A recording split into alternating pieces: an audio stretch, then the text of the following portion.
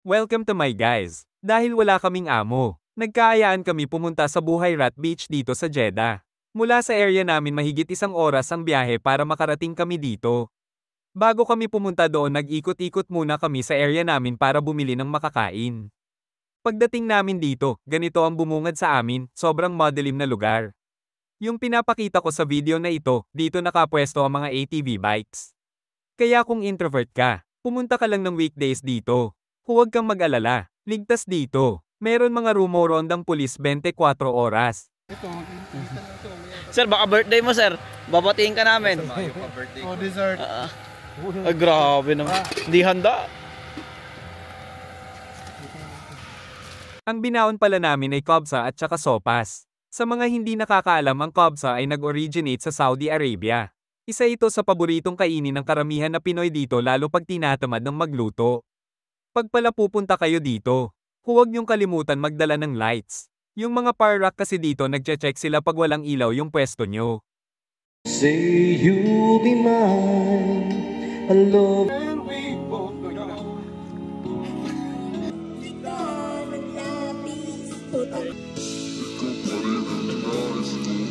Kantahan lang ang ginawa nila hanggang alas 5 ng umaga.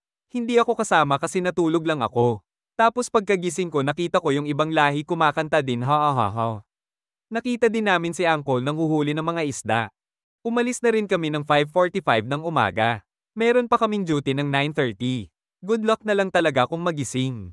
Nakarating na pala kami malapit sa area namin ng 6.30 ng umaga. Kumain muna kami sa McDonald's bago umuwi ng bahay.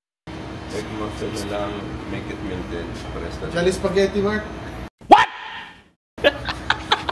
Jolly spaghetti dito? Chicken joy. Ah. Hash brown. Eto. Yung Hash brown. Brown nila puti.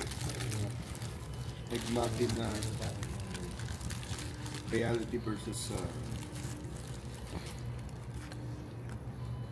Jam burger. Sarap. Huwag mong subukan. Masisira ang buhay mo.